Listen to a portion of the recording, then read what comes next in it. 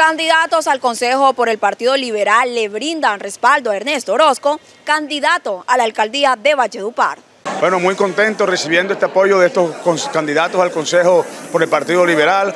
Esto llega a sumar a esta campaña y lo que queremos es que se sumen muchísimas más personas, que aquí lo que hay es espacio para que la gente llegue a contribuir a este proyecto de ciudad. Hay, hay medidas que de pronto son eh, impopulares.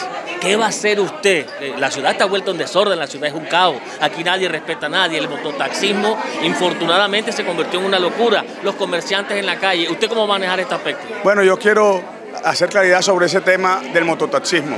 O sea, aquí hay que mejorar la movilidad, pero es que el mototaxismo es el 19% de lo que se transporta en la ciudad, el 41% lo hacen en moto particular y lo demás en servicio público y carro particular y nadie respeta la movilidad. O sea, no solamente el problema de las motos, es el problema de todos, de cultura de todos y vamos a comenzar con, el cultura, con la cultura ciudadana y a, a esperar que empiecen a respetar las señales de tránsito. Todo lo vamos a hacer concertado con los gremios, pero con autoridad. En el tema de las podas de árboles tenemos un proyecto para que se puedan comprar esas podas de árboles, para que madres, cabezas de hogar, se puedan dotar de la máquina y puedan convertir eso en abono. Tenemos el proyecto para autorizar las escombreras, para autorizar las escombreras en Valledupar y vamos a hacer que todo eso llegue a unos destinos y no esté la ciudad mugre.